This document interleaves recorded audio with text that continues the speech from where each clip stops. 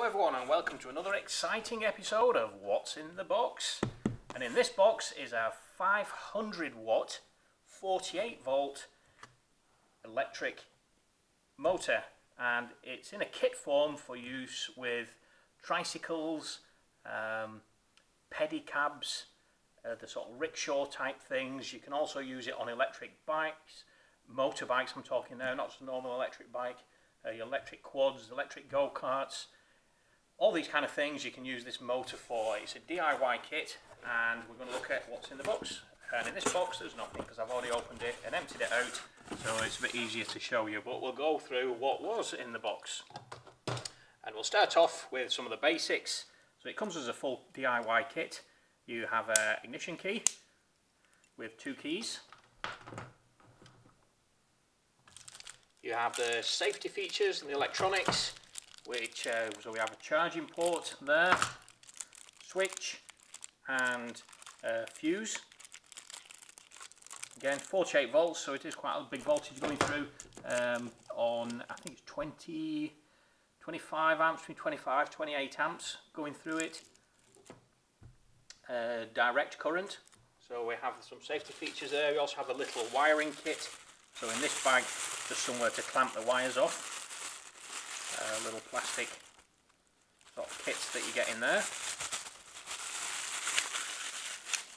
Put that to one side and then you've got your control unit which is for the 48 volt 500 watt motor with everything you need on there um, to operate the kit safely and there's a control unit, it's much bigger than the other ones we have. We'll put that to one side. We've got heavy duty chain Again, not a normal bike chain, it's more like your motorbike style chain. So that also comes in the kit.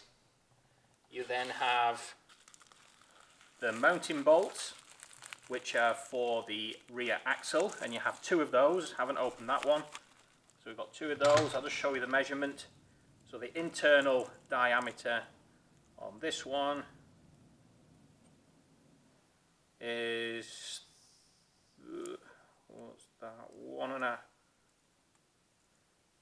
just under one and a half inch looking at 30 mil.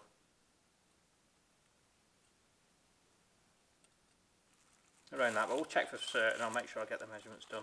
And the external is about 41 check that again. Internal yeah we'll call it about 30 in there for your axle.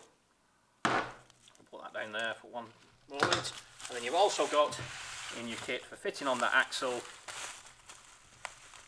is the cog. Obviously a lot larger. Uh, if you've got an existing cog on um, a trike then you could just fit the motor quite easily. If not then you have the kit to do it. And then we have the motor itself. You'll have to excuse the noise outside. We're in an industrial unit, there's people knocking around all over the place and here's the motor. Oh. So it's a big old motor you've got there for mounting securely to a floor. So you want it on a welded frame and a fixed cog on the actual motor. So the, the one you've got in the kit is your two-way cog. So it'll go one way and lock the other way.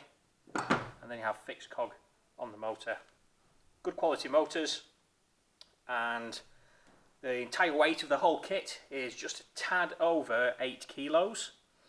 And you can buy them direct, I've got them on eBay, or you can buy them direct from us at www.eurocarts.com and again you can use them for all kinds of applications so just give us a shout if you want to, want to come and have a look at one. If you want to test one out. And they're also available on the website and eBay like I mentioned before. We've also got 250 e-bike kits, if you want to use it on a normal push bike then you need to go for the 250 watt kits, which are also on the videos around here. Okay, thanks for watching.